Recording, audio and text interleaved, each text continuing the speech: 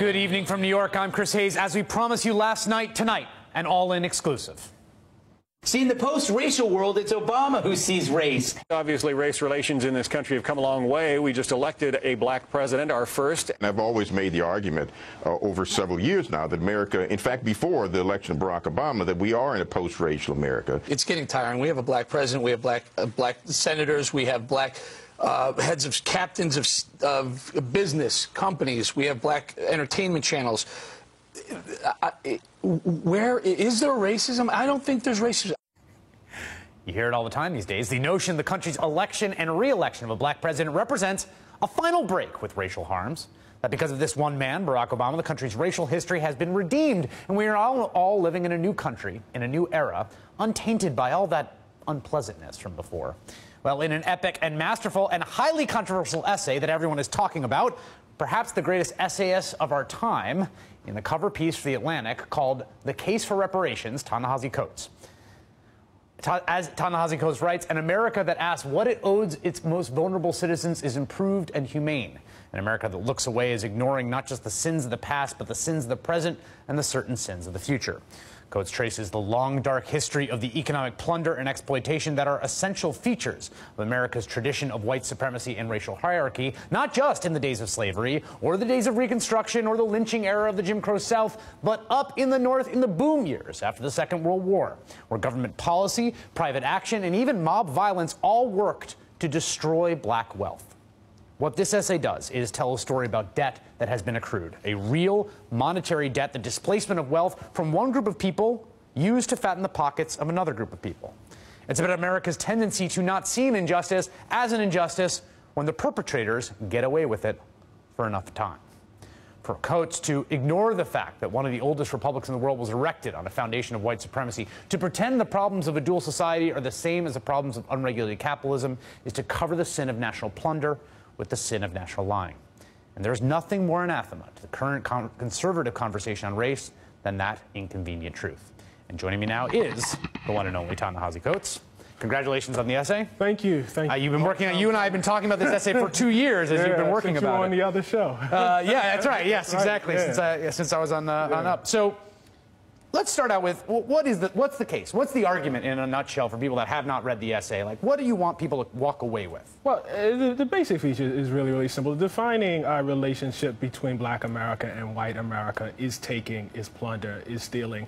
And this is obviously true, I mean, most explicitly in slavery, a period of 250 years. But it continues after enslavement, uh, into debt, peonage, and sharecropping in the South, into uh, racial terrorism, where you're talking about the seizing of people's bodies, uh, into through some of the most progressive policy that, you know, we erected during the 20th century, uh, through our housing legislation, uh, through our GI Bill. Basically, you know, it's just a defining feature in terms of how the two communities have related in our history. Um, you, you, you tell the story in the beginning. I mean, and I think this is a really important point because I think one of the ways we think about I'll, I'll, speak for myself. One way I had sort of been brought up to think about race and racism was as um, a, a, problem of exclusion, of hatred, right. of people right. saying and doing mean things, of, right. of doing horrible, violent things, and of, of, of constraining people's freedom. Right. You couldn't go to that water fountain. You couldn't go to that pool, and that that was the injury. And you really put a lot of emphasis on this on the the fact that actually no no it was taking stuff. Right like right. taking stuff was the core feature right right. system. plunder plunder. Uh, plunder. And you tell the story of a guy named Clyde Ross. Um, this is uh, from the video that came out with the essay. This is Clyde Ross. Take a listen. My name is Clyde Ross. I was born in uh, Clarksdale Mississippi.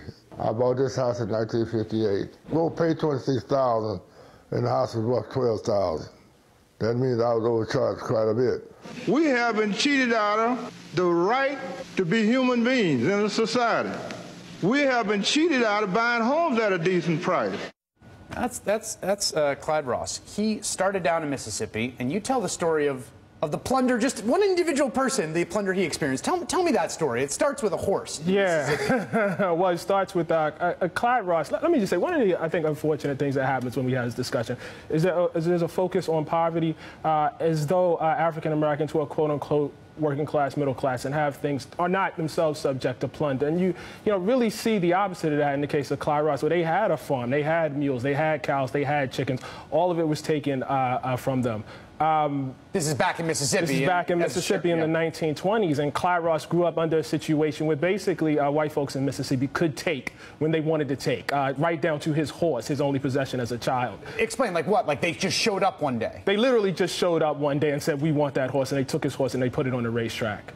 Um, yeah, yeah, yeah. And it got much worse than that. His brother, for instance, uh, who had epilepsy, had an epileptic fit in town. They took him and they put him in Parchman Prison. Anybody that knows anything about Parchman Prison understands that it's essentially 20th century slavery at that point in time. Never saw his brother again, could never even recover the body. So he is raised in a world, this is in the 1920s, in, in Mississippi, with a family that has some assets in which those assets up to and including the human life of the family member right. can be at any moment seized. White people can show up and say yoink. Right, basically. basically. That's ours. Yoink is the thesis of the story, basically. Yes, that's yoink. right. Yes. That should have been our headline. That yoink. should have been the headline. right. Yoink. Right. right. Because and eventually that is precisely the thing that, that pushes him up to the north. That's right. right. That's he, right. There's a great line in there. What, he, what he's seeking is the protection of law. The protection of law, which is the first thing he said to me, and I did not understand what he was saying. And then when he outlined, you know, what was going on in the South, uh, which is no black lawyers, no black judge, judges, no black prosecutors, no black people with any sort of stake in the legal process at all, uh, with any sort of positions of power in the state. That's no law if you're black. He comes to the North and he thinks he's going to get away with that. And, he, you know, on some level, there, there is a change. I don't want to undersell that. But he came to the North at a time when uh, home buying was effectively being subsidized by the federal government. We think that, you know, our, you know, idea of home ownership, the suburbs, that this is something that, you know, is a matter of just rugged individualism. But the government engineered this, except for black people. And Clyde Ross was a part of that generation of folks who had jobs, was working a job, ended up working three jobs, and could not get a legitimate mortgage to buy Federal Housing Authority made, basically made, invented redlining. Redlining being, I mean, they were literally red maps. Uh, the Federal Housing Authority said, we, we, will not underwrite mortgages right. in these neighborhoods That's because right. there are black people. That's right. And then that practice then spread out into the private industry, uh, which, you know, didn't need much of a push. You know, it's more of a collusion, in fact. Uh, and themselves, you know, even without, you know, the push from the government said, you know, we will not give loans to black people. And I, I just want to, you know, push this point home. Um, that didn't just affect black people. It affected white people. If you were an individual decided maybe you didn't want to be racist and you just you know, had no problem with black people moving in, uh, you had great incentive to leave anyway um, right. because the property values in your neighborhood were going to decline. Because when black people moved in, the property values, because partly of federal housing policy, right. would right. actually decline. Right. right? so whether you're racist or not, you're, people are moving out. And so he buys on what's something called a contract sale, yes. which is just basically a straight hustle. Again, yoink. Right, yoink again. I mean, basically, it is all of the problems of renting with all of the problems of buying and none of the rewards of either. Um, at any moment, should you miss a payment, uh, the person who holds the lease can immediately take the home from you, keep the down payment, keep all the payments that you've made up until that point. And in fact, they set it up so that that was what would actually happen. They are trying so that basically this, this, person comes in and does a contract sale, and I am I am both the seller and the lender. Right, right, right, right. And Although you're I don't working. Tell you that. I don't tell you all. I don't tell you that, right? right? And you are now working your way out of debt to me. And right. if you miss a payment, I can say you missed a payment. I'm taking all the back money you've paid me, right. even if you paid 80% down on the house, right. and the equity the house, and I'm putting you out. That's exactly what happened. And this is um serious. I'll just add this really quickly. I got a call from my mother this morning, and I, I don't want to get emotional here, but um, I grew up in West Baltimore. My grandmother lived in West Baltimore. There was a home I went to uh, every day after school. My grandmother bought that home on contract. And I didn't even know that until my mother read the story and, you know, explained that to me. Um, my grandmother was Clyde Ross. You know, basically came right. up, raised three kids in the project, sent them uh, to college, uh, worked cleaning white folks' uh, floors, and managed to buy a home. And this is the only way she could do it. It's a very similar story. And so the accrued, what, what the result of the plunder right? The argument is, is we got we had slavery, and you don't even actually linger on slavery that long. Right? No, it's no, not no, that big a part of it. it. give you that. I right? Mean, it's like okay, slavery. You right? don't want to buy. You don't want right. to buy the reparations for slavery argument. Okay, right, Fine, right. So let's talk about plunder just in the 1950s, right? right? So right. okay, what we have created is this wealth gap, mm-hmm. right? This and and there's this great Chris Rock meditation on what wealth means. I want to play because I think it it really gets something key here. Take a listen. I'm not talking about rich. I'm talking about wealth because wealth will set us free, okay? Because wealth is empowering. Wealth can uplift communities from poverty, okay? Wealth is passed down from generation to generation. You can't get rid of wealth. Rich is some you can lose with a crazy summer and a drug habit right? Wealth is this thing that, that, there's this stability to it. And one of the things we see is this unbelievable gap in yeah. household wealth yeah. between white people and black people, even, even when you normalize for income. Even right. people with master's degrees or law degrees. Right, You, right, you right. normalize across these things. We see these pers- this persistent racial wealth gap. Right, and this is the thing, again, you know, just to bang on this, it- you know, um, inequality is a very big problem in, in America and in the world, right? And it's something that, you know, obviously we believe in the fight against inequality, but this is not just a matter of poverty. You know, racism is, is, is an actual real thing with actual consequences, and the wealth gap is the biggest illustration of that. Um, black graduates twice as likely to be unemployed as white college Right, graduates. I, mean, right. I saw a crazy statistic um, for all college graduates, the same age range, employment, employment was 5.6%, Right. 12.4%. You go through all the ways in which race, not socioeconomic status, not Right. poverty, right? Um, Well, see, Chris, I think Yeah. the thing we're, we're, laboring under a dangerous illusion, and this was really one of the motivating uh, features for, for this essay, and that is that if you're black in this country and you play by the rules, you go to college, you get married, uh, you know, you delay having kids, you'll be okay.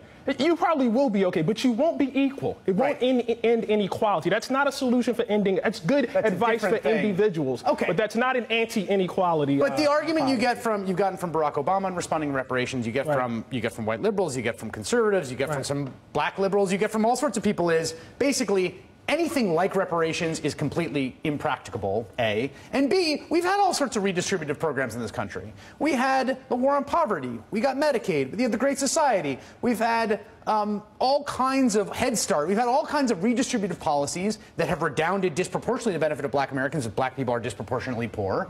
And so, you know, we're doing it. We're trying. We're, we're, we're redistributing. Yeah. Uh, well, first, I, you know, just just two two quick things. Um, the president gives the argument that I, and with all due respect to President Obama, he gives the argument that you expect President Obama to give. I don't expect President Right. Obama to come out and support reparations. Uh, in terms of the impracticality argument, all I can say to this is the following. Um, in 1859, uh, Frederick Douglass was arguing for the liquidation of what? Trillions of dollars of wealth in the form of human slaves, okay?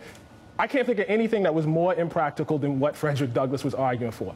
It happened though. And right now, if you talk to anybody, they would say Frederick Douglass had the correct moral position. Everybody would say that that was totally the right thing to do. Um, I, I'm just not particularly swayed by that.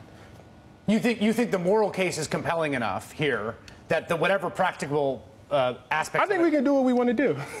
That's what I think. I think if we decide a world in which we Yeah. decide. So what's that? So what does that look like, right? Well, I mean, the first step, as I outlined in, in, in the article, is support John Conyers' bill H.R. 40 to study, to study enslavement and the effects and the legacy of enslavement, and see what remedies might be possibly there should we find something wrong. Um, and a lot of people get frustrated with that. They want me to have a, you know, an outline. Yeah, yeah. Name a dollar figure, Tyler right, exactly, exactly. But we haven't even studied it. I mean, you got to get your hands on the actual problem. Look, I did what I could. You know what I mean? I spent two years looking at this, and I tried to do the, you know, to do the best that I could. But we did an actual serious study. I mean, this is a huge thing. I mean, I- Yes. you know, I mean, to calculate not just enslavement, but to calculate housing discrimination, to calculate, you know, educate school school segregation, to calculate criminal justice policy, to calculate all of that and figure out what the effect has been on African Americans and how much of that we can actually pay. I mean, this is a huge deal. This is not a small thing. Right. Um, so I did what I could. you, you got the one one historical moment in the essay that I did not know at all was the, the very heated